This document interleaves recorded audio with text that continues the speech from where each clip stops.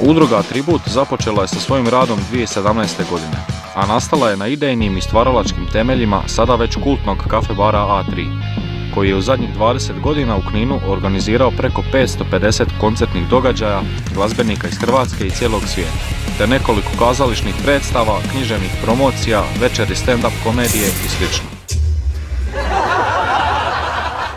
U svom radu organizira koncerte i van prostora udruge na nekim od prirodnih kulturno-povijesnih ljepota i lokacija grada Knina, te realizira projekte Gr Fest te Svirkaj u petak, iz kojeg je od ove godine proizašao istoimeni podcast. Baš se zna za ovaj klub.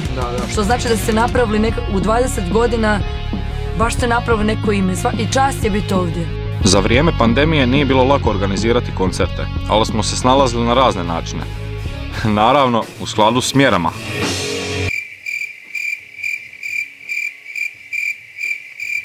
Zadnjih nekoliko godina uspješan je i projekt od svirke do publike, u kojem su u glavnom fokusu djeca osnovnoškolske i srednjoškolske dobi. Preko 30 djece godišnje prolazi kroz glazbene radionice bubnjeva, gitare i klavijatura. U sklopu radionica proizašlo je i više mladih bendova, od kojih su trenutno aktivni Kninci i Blister. No, sada kada već pričamo o mladim bendovima, idemo čuti što ima mladi bend Blister za reći.